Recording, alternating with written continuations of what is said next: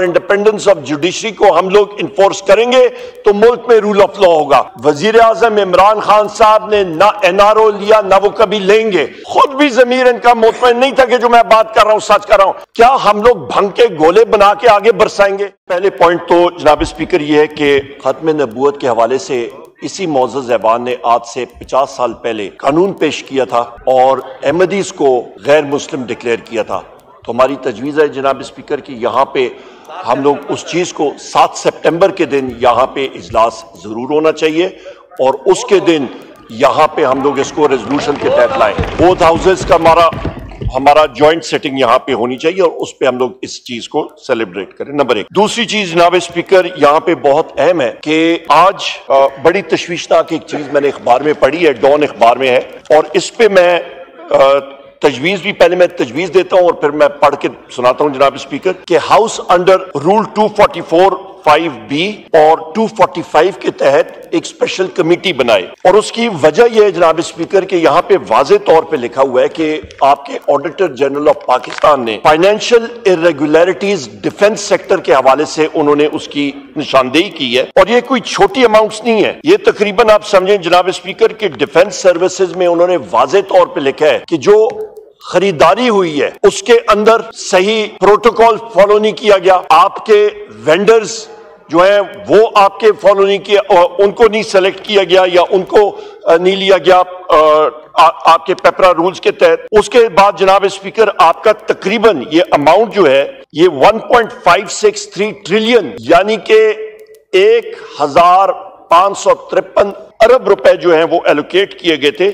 اور یہ زیادہ کیے گئے ایک ہزار پانچ سو بانوے ارب بنائے گئے تھے سپلیمنٹری گرانٹس کے بعد اور اس کے اوپر بھی آڈٹ آبجیکشن بہت زیادہ آئی ہیں اور یہ متباتر کئی سالوں سے آ رہی ہیں اور سب سے اہم چیز جناب اسپیکر یہ یہاں پہ یہ لکھی گئی ہے کہ آپ کے پبلک اکاؤنٹس کمیٹی میں انہوں نے لکھا ہے جناب کہ انہوں نے تین سو بہتر پبلک اکاؤنٹس ڈائریکٹیوز کے جو جو یہاں سے ایشو ہوئی ہیں پبلک اکاؤنٹس کمیٹی کی صرف ایک سو نو پہ کمپلائنس ہوئی ہے۔ اور جو باقی بھی فارمیشنز میں آپ کے مسلح فاج کے یا آپ کے منسٹری آف ڈیفنس کے فارمیشن لیول پہ بھی بے تحاشا ارریگولیرٹی سامنے آ رہی ہیں۔ اور یہ میں سمجھتا ہوں کہ جن صاحب جو آڈیٹر جنرل نے یہ کیا ہے ان کو ہم لوگ سراتے ہیں کہ باقاعدہ انہوں نے ایک ایک چیز اس, اس, اس کے اندر دیکھی ہے۔ اور یہاں پہ جناب اسپیکر میں سمجھتا ہوں کہ یہ صرف پبلک اکاؤنٹس کمیٹی کے زمرے سے نکل گیا ہے۔ انہوں نے اپنی فائنڈنگز دے دی ہیں۔ پر دوسری طرف defence committee of the national assembly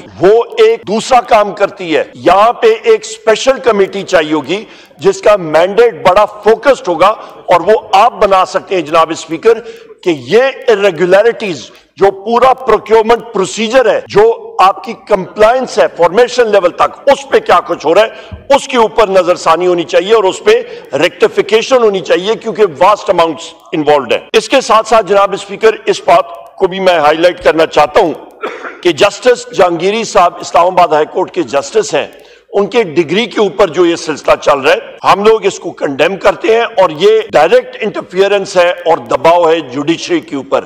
جس طرح اسلام آباد کے چھ ججز کے اوپر تھا۔ جناب اسپیکر یہاں پہ ایک اور اہم سلسلہ ہے اور اس کے اوپر بھی آپ کے جو آپ کی جو اسٹینڈنگ کمیٹی آن لا ہے اس کو ایکشن لینا چاہیے اور انڈیپینڈنس آف جوڈیشری کو ہم لوگ انفورس کریں گے تو ملک میں رول آف لا ہوگا۔ رول آف لا ہوگا، آئین اور قانون کی بالادستی ہوگی تو ملک ترقی کرے گا۔ جناب speaker article 370 Indian foreign minister نے اس کے بارے میں بات کہی ہے اور ہمارے فورن آفس کی طرف سے کوئی رسپانس یا گورنمنٹ کی طرف سے نہیں آیا۔ اور وہ تھا جناب کے ڈائیلاگ ابھی ختم کشمیر کے اوپر۔ جناب اسپیکر یہ اتنا اہم موضوع اور اتنی اہم چیز انڈیا کے کے فورن منسٹر نے بات کی ہے اور یہاں پہ ہم سمن بکمن بیٹھے ہوئے ہیں۔ نہ کوئی رسپانس کبوتر کی طرح ہم نے اپنا سر جو ہے وہ ریت میں ڈالا ہوا ہے۔ امیجیٹلی فورن منسٹر کو آ کے یہاں پہ پالیسی سٹیٹمنٹ دینی چاہیے تھی۔ جناب اسپیکر جی۔ یہاں پہ میں بات کرتا ہوں انفورس ڈسپیرنسز کی۔ اسی فلور پہ پی ایم نے کمٹ کیا تھا جس دن آپ کے ہانیہ صاحب کی شہادت ہوئی تھی اور اس کے بعد اس ہاؤس نے جوائنٹ ریزولوشن پیش کیا تھا۔ تو شہباز شریف نے یہاں پہ کمٹ کیا تھا کہ انفورس ڈسپیرنس کے اوپر اس کی سٹیٹمنٹ اور پالیسی سٹیٹمنٹ آ گئی ہے۔ کتنے دن، کتنے ہفتے گزر گئے جناب اسپیکر کوئی اس پہ نہیں آئی۔ یا تو ہمیں بتا دے کہ وہ بے بس ہے، اس کے ہاتھ میں نہیں ہے اور وہ یہاں پہ پالیسی سٹیٹمنٹ دے۔ دوسری چیز جناب اسپیکر یہاں پہ یہ بھی میں کہتا چلوں کہ آپ کا وزیر اعظم عمران خان صاحب کے جیل کے حوالے سے جہاں پہ بات ہوئی تھی، جو حکومت کے ممبرز نے یہاں پہ بات کہی تھی، وہ نہایت افسوسناک جو آپ کے پلاننگ منسٹر نے اور M N A Hanif Abbasi نے بات کی تھی، نہایت افسوسناک وزیر اعظم عمران خان صاحب نے نہ این آر او لیا، نہ وہ کبھی لیں گے۔ این آر او لیا تو ان لوگوں نے لیا۔ جس وقت جنرل مشرف کے کہنے پہ بھی گئے تھے اور اس کے بعد بھی جو این آر او ٹو آیا تھا، باقاعدہ یہ لنڈن پلان اور جنرل باجوہ کے ساتھ ان لوگوں نے ایڈمٹ کیا ٹی وی پروگرامز پہ اور اس کے تحت وزیر اعظم عمران خان صاحب کی حکومت کو ہٹایا گیا تھا پلان کے ذریعے اور آج ہم لوگ پورا ملک اس کا خمیازہ بھگت رہے ہیں۔ جناب اسپیکر، آخری دو پوائنٹس میں کہوں گا کہ وزیر اعظم عمران خان صاحب کی نومنیشن آکسفرڈ یونیورسٹی کے چانسلر کے حوالے سے ہمارے اولمپئن ہمارے اولمپئن گولڈ میڈلز لے کے آتے ہیں، اس کو ہم لوگ سیلیبریٹ کرتے ہیں۔ وزیر اعظم عمران خان صاحب چانسلر آکسفرڈ یونیورسٹی کے بنیں گے، پاکستانی ہیں، مسلمان ہیں الحمدللہ، اور وہ وہاں پہ جائیں گے تو مسلم دنیا کی اور پاکستان کی عزت بڑھے گی۔ اور اور آٹھ سو سال ہسٹری میں پہلی بار ہوگا۔ آپ پروکیل سوچ، نیرو اور تنگ دے تنگ نظر سے نہ دیکھیں سیلیبریٹ کریں۔ بجائے اس کے کہ آپ ہینڈ رنگنگ کریں اور اس پہ آپ کہیں کہ جی یہ ہو گیا، یا وہ گیا سپورٹ کرنا چاہیے ان کی کینڈیڈیچر کو۔ جناب اسپیکر یہاں پہ بات ہوئی افراد زر پہ۔ یہاں پہ minister minister of state information نے بات کی۔ تو جناب اسپیکر انفلیشن کا پہلے مجھے فارمولا تو بتا دیں میجر کیسے کرتے ہیں۔ کنزیومر پرائس انڈیکس کے بارے میں بات کر رہے ہیں wholesale sensitive price index کے بارے میں۔ اور دوسری چیز سب سے امپورٹنٹ چیز یہ ہوتی ہے جناب speaker inflation rate of change ہوتا ہے۔ آپ کی انفلیشن آپ کی مہنگائی کم نہیں ہوئی۔ آپ کی مہنگائی بڑھ رہی ہے۔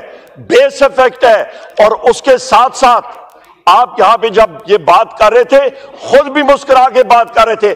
خود بھی ضمیر ان کا مطمئن نہیں تھا کہ جو میں بات کر رہا ہوں، سچ کر رہا ہوں۔ یہاں پہ جتنے لوگ یہاں پہ بیٹھے ہیں، پورے اس ایوان میں، ایوان کے اس سائٹ پہ، اس یہاں پہ آپ کے گیلریز میں ان سے پوچھے مہنگائی کم ہوئی ہے یا کیا ہوا ہے؟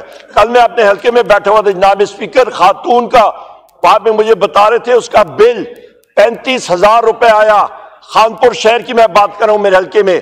وہاں پہ خاتون خاتون کا وہ کیس ہے۔ جناب وہ اپنے گھر کا فرنیچر بیچ کے وہ بجلی کا بل ادا کر رہی ہیں۔ اور وہ غلط معاہدوں کی وجہ سے مسلم لیگ نون نے وہ غلط معاہدے کیے تھے۔ ٹیک اور پے کے فرنٹ لوڈڈ کانٹریکٹس آخر میں جناب اسپیکر میں یہ آپ سے گزارش کروں گا کہ ڈیٹیل میں آپ نے ٹائم دیا، میں اس کا مشکور ہوں۔ آخر میں میری ایک بات ہوگی کہ جناب اسپیکر آپ سے اور آپ کے سیکرٹیریٹ سے یہ ڈائریکٹ کوشچن میں پوچھ رہا ہوں کہ یہاں پہ کوئی لیٹر کیا آپ کے سیکرٹیریٹ نے الیکشن کمیشن آف پاکستان کو بھیجا ہے کہ وہ نوٹیفائی کریں ہمارے ممبرز کو ایز سنی اتحاد کاؤنسل کے یا پاکستان تحریک انصاف کے طور پہ، اس کی کلیریفیکیشن دے دیں۔ اور جناب اسپیکر اس پہ آپ کی رولنگز یہ کلیرٹی کے ساتھ چاہیے، بالخصوص آن ڈیفنس پروکیومنٹ اور آخری چیز جناب اسپیکر آخری چیز یہ میں نے پہلے بھی کہی تھی میں نے مینشن کیا تھا کہ جناب اسپیکر یہ آپ کا کینیبس کا جو کلٹیویشن اور پلانٹ آج کے لیجسلیشن میں بھی آیا ہوا ہے لسٹ میں ہے، یہ جناب اسپیکر سائنس اینڈ ٹیکنالوجی میں تھا۔ ڈیفنس کا اس کے ساتھ کیا تعلق؟ میں نے اس دن بھی پوچھا تھا۔ کیا ہم لوگ بھنگ کے گولے بنا کے آگے برسائیں گے؟ اس کا تعلق اس سے کیا ہے جناب speaker? Let it remain in science and technology جہاں پہ اس کا جو پیرنٹ منسٹری ہے یا جہاں پہ اس وقت انہوں نے ریزائڈ کیا ہے، وہاں پہ اس کا کام ہے۔ ضروری اس کو ہم لوگ کہیں اور پہ لے کے جائیں گے۔ بہت شکریہ جناب اسپیکر۔